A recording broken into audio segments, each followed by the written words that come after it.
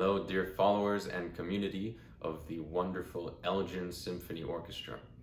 My name is Gabriel Martins, and I will be the cellist for the upcoming performances of Shostakovich's first cello concerto. We are very much looking forward to bringing this great music to you soon.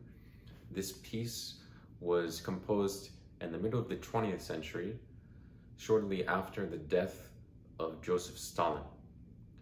So, as with many of Shostakovich's pieces, this work displays great intensity, darkness, mystery, secrecy, and much more. I believe that this piece in particular is, is one of his greatest compositions, actually.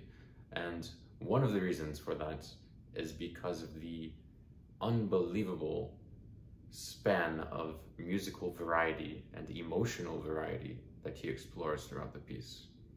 So I like to think of it as in you are taking a long journey throughout the vast country of Russia. And that is going from the barren lands in Siberia into the glorious cities of Moscow and St. Petersburg and out to the Arctic Ocean and everywhere in between. So you will experience incredible intensity throughout this work in the first and the last movements in particular, as well as deep, deep melancholy in the beautiful slow movement, the second movement, as well as in the cadenza, the third movement. So we are very much looking forward to these performances and we hope you'll be able to join us. See you soon.